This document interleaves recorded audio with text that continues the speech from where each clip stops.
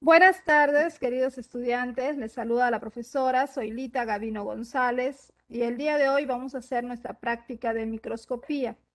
Empecemos.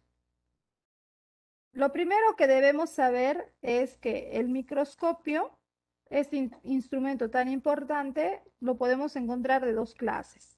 Existe el microscopio óptico y también existe el microscopio electrónico. En cuanto al microscopio óptico, podemos encontrar el microscopio óptico simple y el microscopio óptico compuesto. El microscopio óptico simple consta de un solo lente, es decir, es una lupa. Es el más simple que existe, como el que estudiamos, que era el microscopio de Anthony van Leeuwenhoek. Pero también existen hoy en día microscopios más avanzados que te permiten ver mucho mejor la imagen, que son los microscopios ópticos compuestos.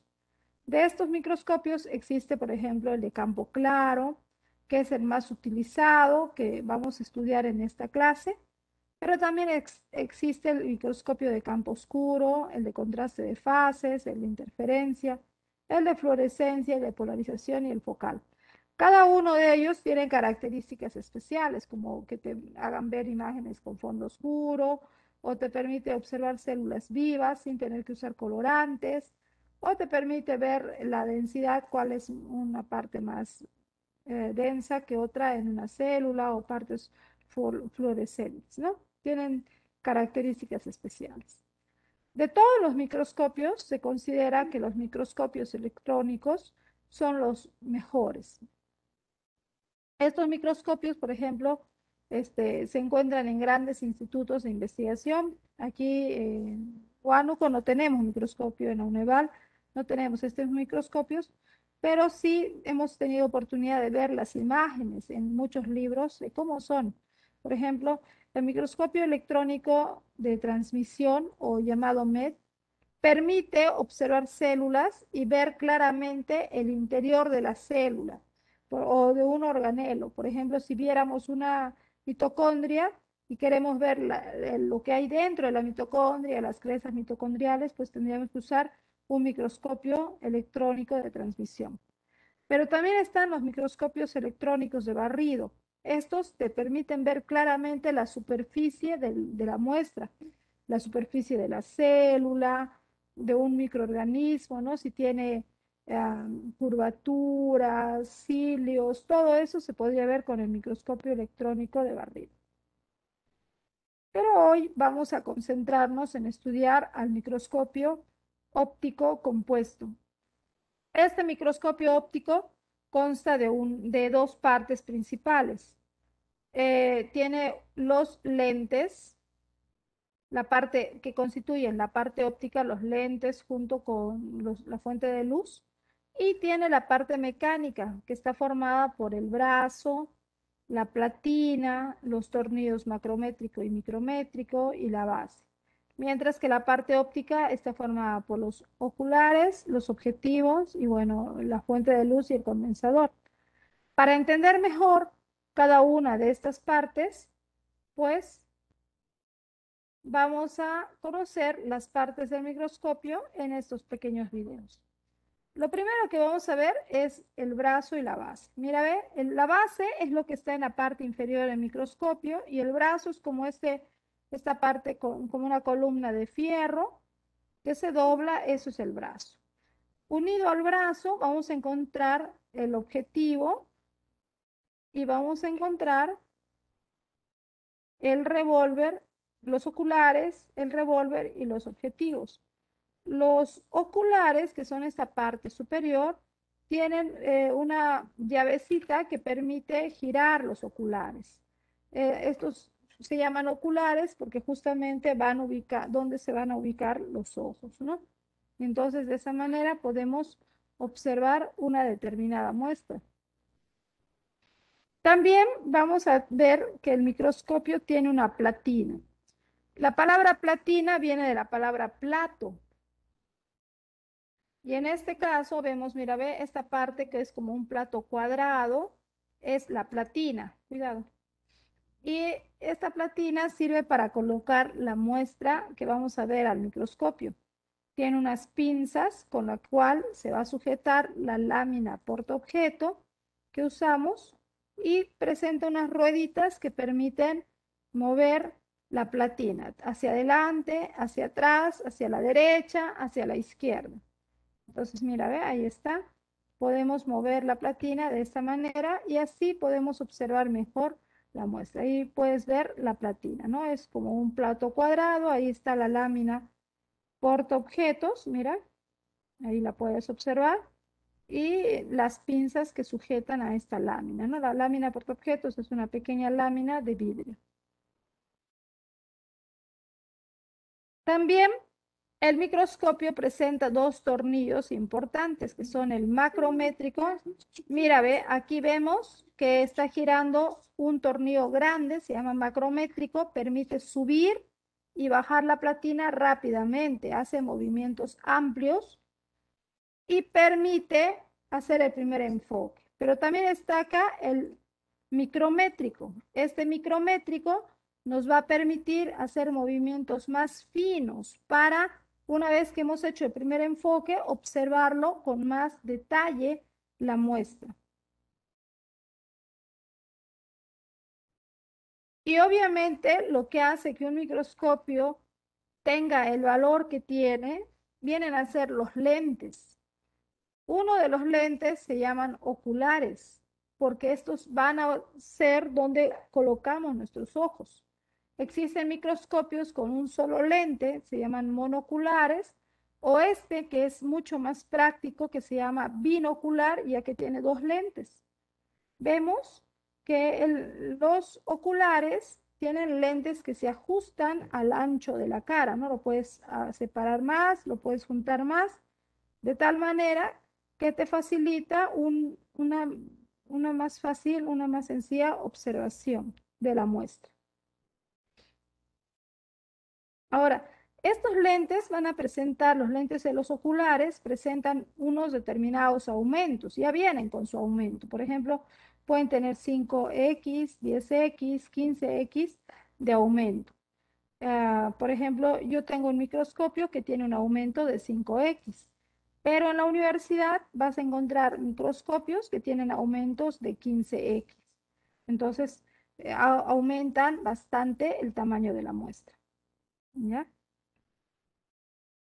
Y obviamente para complementar el juego de lentes de los oculares, también tenemos los objetivos y el revólver. El revólver es este metal circular que podemos ir girando y en este revólver están colocados o adheridos los objetivos.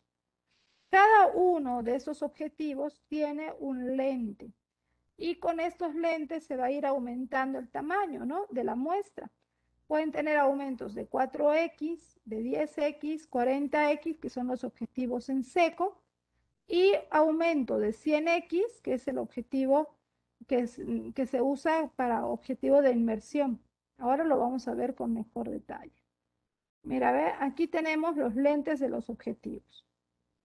Los giramos en el revólver y podemos observar que tenemos cuatro lentes. El de 4X, que hace ver las imágenes más pequeñas y es el primero que debemos usar. Luego el de 10X, el de 40X, que son estos tres objetivos secos, y el de 100X.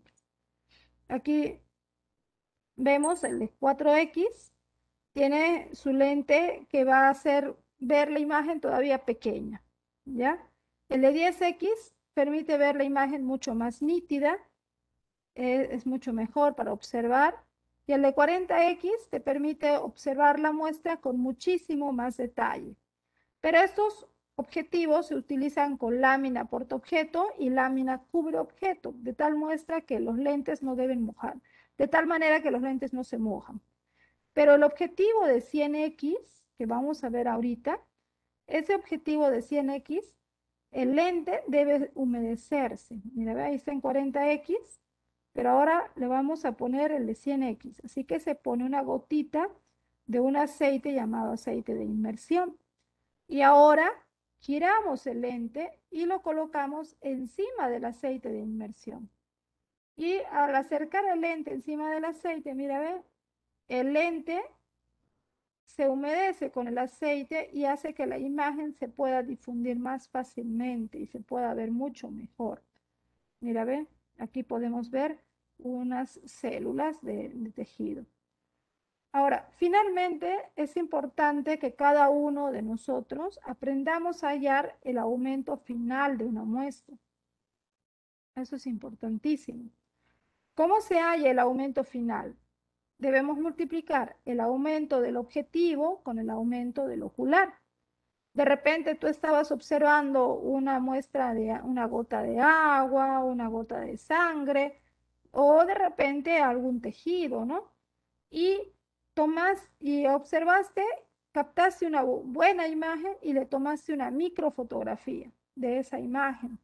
Entonces, una vez que ya tienes la microfotografía, lo siguiente que debes hacer, eh, de repente lo vas a publicar, ¿no? Entonces, para publicar una microfotografía, siempre te preguntan en cuánto aumento lo has observado. Entonces, ¿cómo vas a saber el aumento? Pues te fijas cuánto es el aumento que tiene el, el ocular, es decir, este, donde pones tus ojitos, ahí está escrito un número. Ese número es el aumento. Por ejemplo, yo te, yo te digo en este caso, si tu ocular tuviera un aumento de 10x y lo has observado con el objetivo de 4x, ¿cuánto habrá aumentado? A ver, respondan chicos. 40. Muy bien, ustedes sí son lo máximo, 40. Claro, obvio. Si es de 10x y aumentó, observaste con 4, 40. Y si lo observaste con el objetivo de 10x. 100.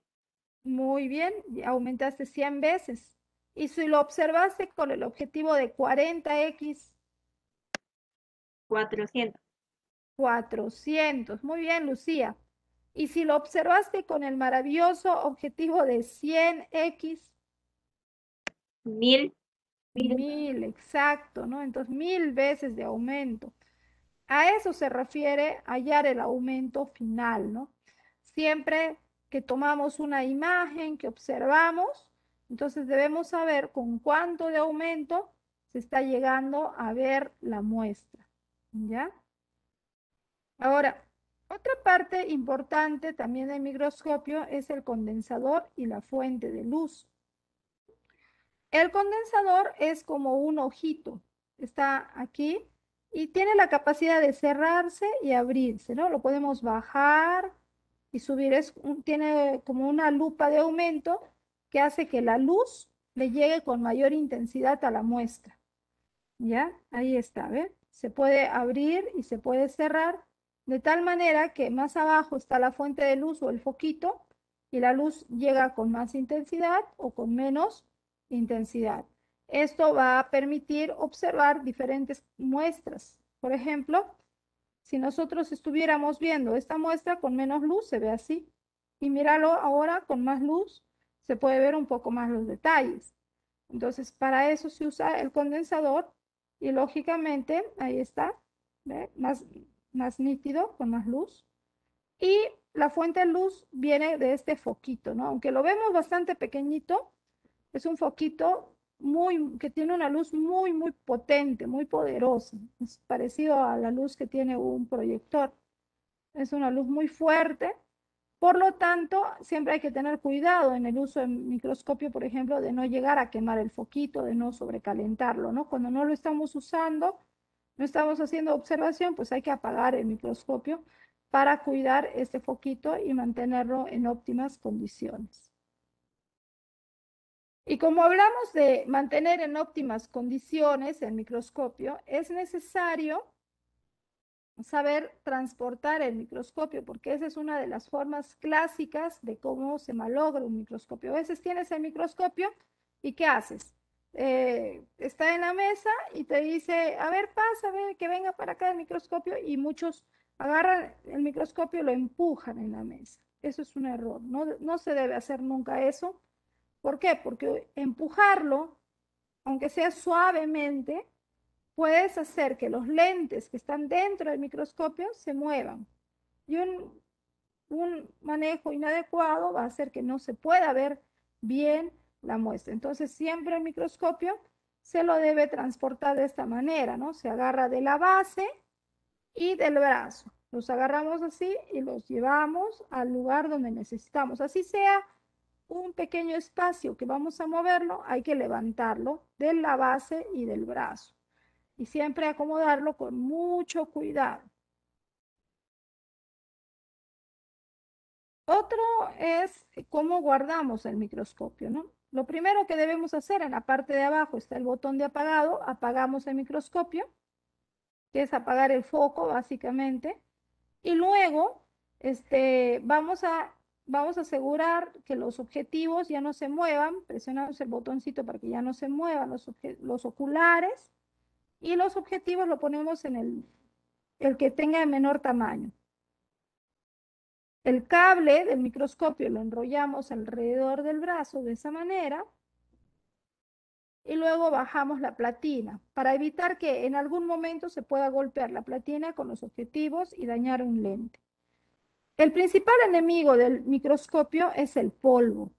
Por ese motivo es fundamental que todo microscopio siempre sea cubierto con una funda de tela principalmente, o en su defecto una funda de plástico. ¿Por qué? Porque aunque tu microscopio en tu laboratorio pueda tener una gaveta o un cajón donde vas a guardarlo, esto no es suficiente. Tiene que ser cubierto de, de algo más porque uno no ve el polvo que hay y a pesar de que el laboratorio es un ambiente muy limpio y todo, pequeñas partes de polvo pues van a ir dañando los lentes, ¿no? Es algo que debemos cuidar porque un microscopio no es un equipo que lo compras para un año, lo, lo compras de repente para usar toda una vida. También tiene un costo elevado, ¿no? Vamos a aprender aquí cómo preparar una muestra. Esta es la observación de la letra E. Generalmente cuando uno llega a clase de microscopía, lo primero que hacemos en este curso es observar la letra E. Y ahora vamos a ver por qué. Entonces, ¿cómo haces? Consigues, eh, yo te pediría, si estuviéramos en clases presenciales, te pediría que traigas un periódico o una revista. Y de, esta, de este periódico, de esta revista, que cortes una letra pequeñita, una letra minúscula, que puede ser la letra E, Puede ser la letra A o podría ser la letra G. Cualquiera de esas letras me sirven muy bien para hacer el ejemplo. Vean, acá está la letra E ubicada tal como debe ser. Estamos poniendo como es. ¿Ya? La ponemos en la lámina portaobjeto, que es una lámina de vidrio. Lo cubrimos con otra laminita de vidrio llamada cubre objetos. Y luego lo colocamos en la platina. Vemos, ahí está la platina que presenta la pinza que sujeta esta lámina y no se mueve. Encendemos el microscopio y movemos la muestra para que quede justo en el centro, de tal manera que la luz le dé a la muestra. Con el anillo macrométrico empezamos a girar y subir la platina mientras observamos. Como vemos, este hace movimientos amplios y nos va a permitir observar la muestra. Ahí está, mira, ¿ve? Con el anillo macrométrico ya vemos la letra E, pero se ve borroso. ¿Por qué? Porque este anillo nos permite hacer el primer enfoque. No es claro, pero ya has podido encontrar a la muestra. Sabes que está ahí. ¿Ya? Entonces, ahora vas a usar el otro anillo, que es el micrométrico, el anillo pequeñito. Y lentamente, se va a mover muy lentamente la muestra. Y mira, ¿eh? cuando usaste el anillo micrométrico, a ver por aquí, a ver otra vez, ahí está. Con el anillo micrométrico puedes ver cómo que la muestra se observa más nítidamente. Puedes ver los detalles, ¿no? Es la letra E. A ver, ¿quién me dice por qué esta letra E no se ve como una letra E?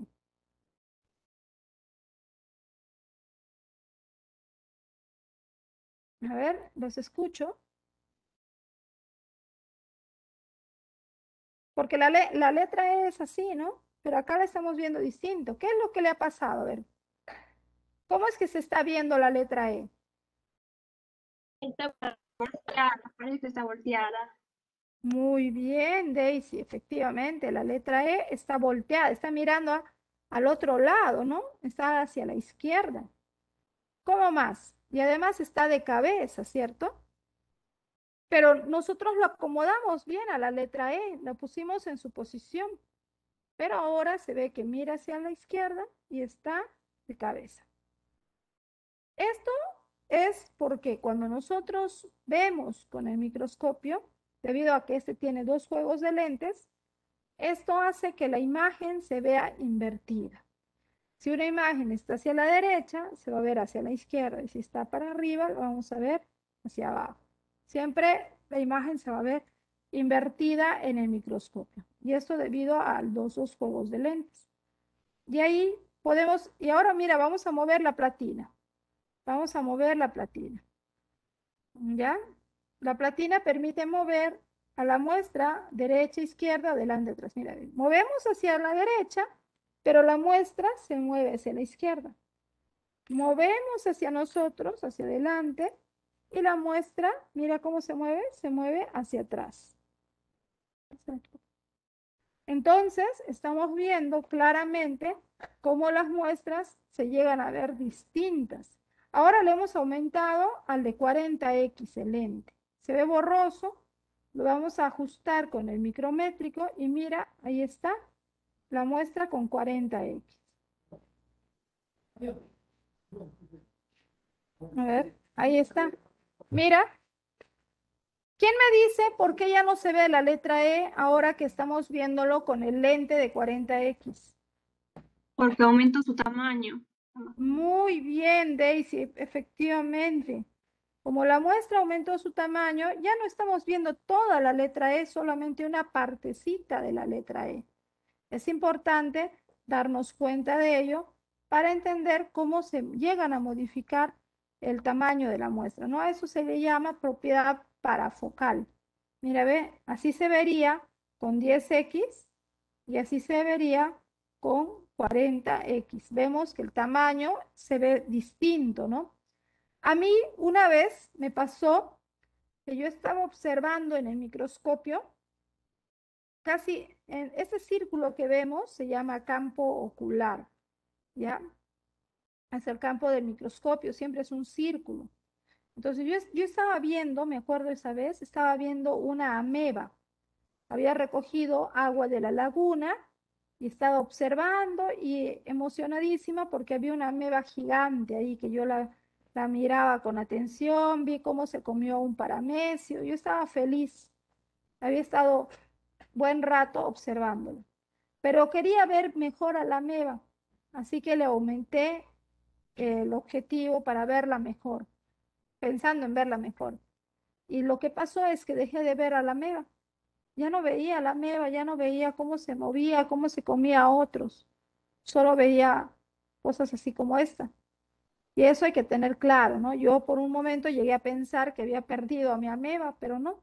Cuando volví al lente de menor aumento, me di cuenta que ahí siempre había estado, solamente que al aumentar el tamaño, pues como que ya no se llega a ver la muestra total, pero sí vemos sus componentes, ¿de acuerdo? He dejado una tarea, eh, ya está asignada, y ahí en la tarea lo que tienen que hacer es dibujar cómo se ve la letra E con el aumento de 10X y cómo se ve la letra E con el aumento de 40X. ¿Ya? Van a dibujar, no quiero captura de pantalla, quiero que dibujen y lo hagan en esos circulitos. ¿Ya? Y la última práctica es aprender a preparar una muestra fresca. Por ejemplo, vamos a hacer la observación más sencilla que existe, es la observación de una muestra de cebolla. Entonces, para eso les voy a compartir mi pantalla y vamos a trabajar. Para esto, lo primero que necesitamos será una cebolla. Bueno, yo ya tengo acá una cebollita cortada. Como pueden ver, la cebolla presenta varias catáfilas, que son estas hojitas, ¿ya? Se llaman catáfilas. Entonces, yo voy a observar una de estas catáfilas, ¿ya? Solamente necesito una. Y lo que tengo que hacer para observarla es lo siguiente. Voy a coger la, cebollita y con mucho cuidado la voy a quebrar, ¿ya? Así suavemente, mira, ya lo he quebrado. Al quebrar la cebollita, miren lo que ha pasado. Podemos observar, bueno, observar que hay una membranita tipo un plastiquito. Bueno, eso es lo que yo puedo observar en el microscopio.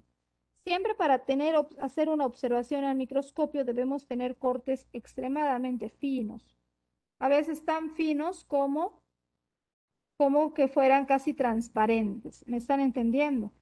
Aquí, por ejemplo, tenemos esto. O en la parte interna también de la cebollita, si le, le peñizcas un poquito, vas a ver, a ver, vamos a, falta uña, pero ahí está, ya lo agarré. Mira, ve, en la parte interna de la cebollita también hay otra membranita, ¿ves? Pueden ver ahí, parece un plastiquito. Bueno, esto vienen a ser este, la epidermis, ¿no? Como decir la pielcita. Entonces, esto también lo podemos observar al microscopio. ¿Qué se necesita para observar? Necesitamos lo primero, las láminas portaobjetos, que vienen a ser estas laminitas de vidrio. ¿Ya? Voy a colocar la lámina portaobjetos aquí en la cajita para que me sea más fácil. Y voy a romper la cebollita. Quiero observar esta parte de aquí afuera. Me parece súper linda. A ver. Si tienen tijerita, lo pueden cortar y sería excelente. Pero si no, usando los deditos. ¿Ya? Lo extendemos lo mejor posible. ¿Ya? La muestra debe ser lo más transparente posible, lo más extendida posible. Pueden observar ahí está mi muestra, ¿no? Aunque está un poco gruesa, debería estar más extendida. Ya. Ahora le debo poner una gota de agua. Acá tengo un gotero. Solamente necesito una gotita. ¿Por qué le pongo la gota de agua? Porque cuando pase la luz por el vidrio, la imagen se distorsiona. Entonces debo ponerle la gotita de agua. Ahí está, mira, ¿ves? De tal manera que la imagen no se me vaya a distorsionar. Y lo siguiente que hago es cubrirlo con otra lámina de vidrio que se llama lámina cubre objetos. En realidad me he quedado sin láminas cubre objetos, son láminas bien finísimas que se me han roto todos mis cubre objetos, así que le estoy poniendo otro vidrio cubre. Pero por ahora está bien. Presiono un poquito y ya está. Si es que le hubiera puesto demasiada agua, puedo usar papel higiénico para secar el sobrante, ¿ya? No debe estar mojado por aquí, no. Así queda la muestra. Y ahora esta muestra lo vamos a observar en el microscopio. A ver, un ratito. Aquí lo pongo. Por acá tengo un microscopio.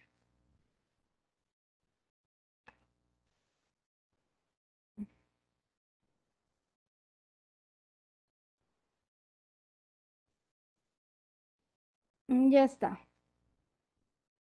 Obviamente este no es un microscopio muy, muy avanzado ni nada, pero para explicarles me sirve.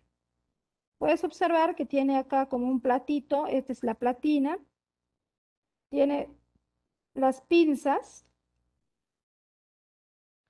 y con las pinzas sujeto la lámina, ¿ya? Ahí la tengo sujetada. Aquí abajo es eh, está el foquito. Entonces, lo único que tengo que hacer es encender el foquito. Pueden verlo. Y está encendido. Y bueno, acá, este microscopio en esta parte tiene sus anillos macrométrico y micrométrico. Con esto puedo acercar, y alejar la muestra. ¿Ya? ¿Pueden ver? ¿Ven cómo se sube y baja? Y este es el ocular. ¿no? Entonces, lo único que tengo que hacer ahora es, bueno, como esto es un microscopio monocular, tengo que observarlo con un solo ojo. Y lo estoy observando con el lente de menor aumento, ¿ya? Siempre con el lente de menor aumento. Ah, qué hermoso. Lo veo súper. Puedo subir o puedo bajar hasta enfocarlo mejor.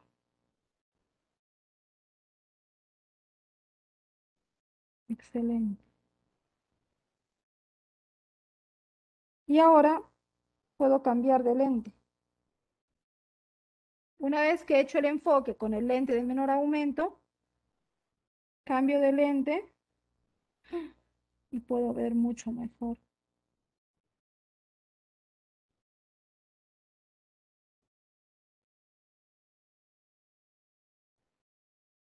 Y nuevamente juego con el macrométrico.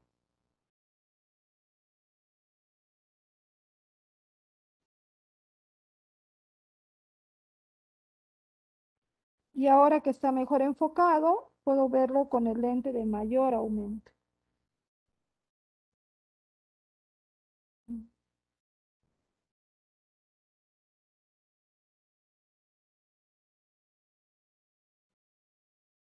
Tengo que fijarme qué estoy haciendo.